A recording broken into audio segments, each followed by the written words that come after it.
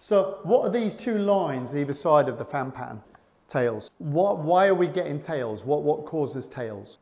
Lack of pressure. We're not, we haven't got enough pressure to, to atomize the paint to the full width of the fan pattern. So if you've got tails, it's telling you two things because everybody says it's one thing. Everybody says, oh, you need more pressure.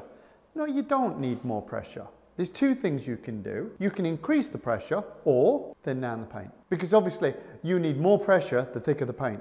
So if you thin the paint, you don't need as much pressure. So manipulating the paint is key. So what we've got to do first is keep increasing the pressure, okay, until we're happy with the fan pattern. That's our first thing. We've already thinned the paint. We've agreed that we're quite happy with that. So now I've got to keep increasing the pressure. This is 1000 PSI.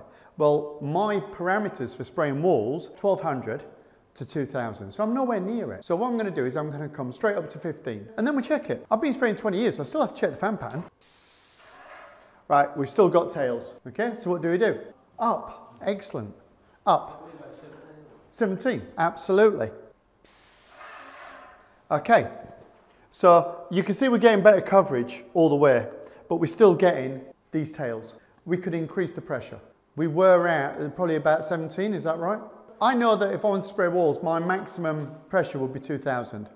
But because I'm teaching, I'm trying to bring you down a little bit first. So let me ask you a question. If you were teaching a kid to ride a bike, what would you put on the bike? Stabilizers. And that's what I'm adding, all right? This is my teaching style, stabilizers.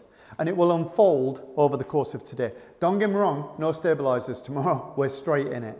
But for now, stabilizers. Which means that when I overlap this, you can see your overlaps. See the overlaps there and there?